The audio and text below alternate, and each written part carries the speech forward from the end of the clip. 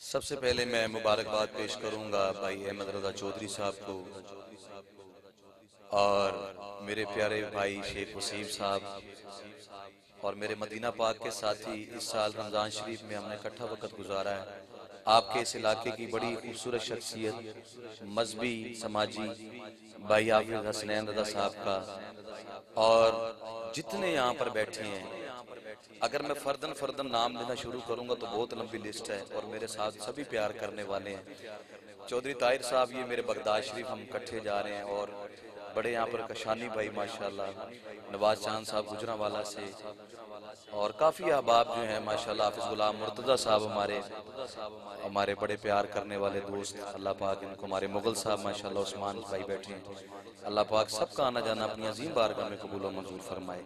चूँकि ये मेरी महफिल अपनी जाति है मेजबान भी हूँ तो इसलिए जो है मैं अपनी हाजिरी पहले ही इसलिए पेश कर रहा हूँ कि हम जो मेहमान आएँगे, वो उनको इंशाल्लाह हम सुनेंगे।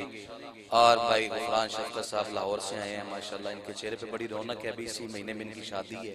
दुआ करें अल्लाह पाक खैर आफियत से हो जाए। और भाई मोहसिन साहब हैं, अबू बकर सुल्तानी साहब हमारे कहने पर पहली मरतबा जो उकाड़ा में ये तशरीफ़ लाए हैं।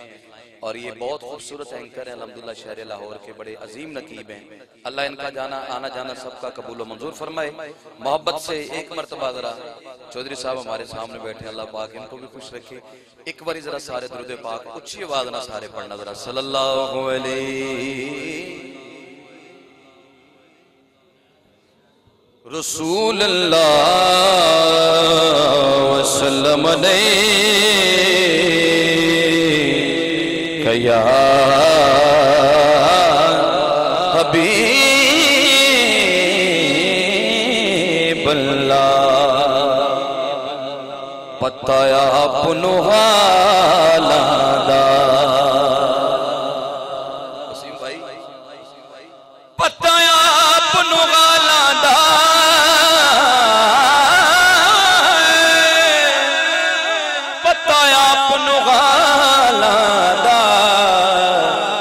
ਮੰਦਿਆਂ ਨੂੰ